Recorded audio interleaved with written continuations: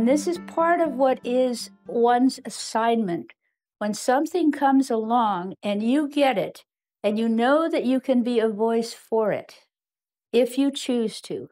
One of the things that I describe about assignment is that you have a choice whether you'll pick it up or not, whether you will take this unique experience of gnosis, of life experience.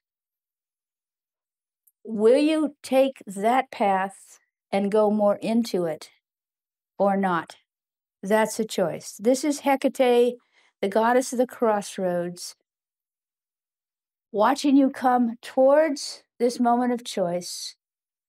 She was the goddess that was represented in ancient Greece at the crossroads with a, a hecatron that had three faces one that could look down the path and see you coming, the other could look at the two choices and look down the paths you might take.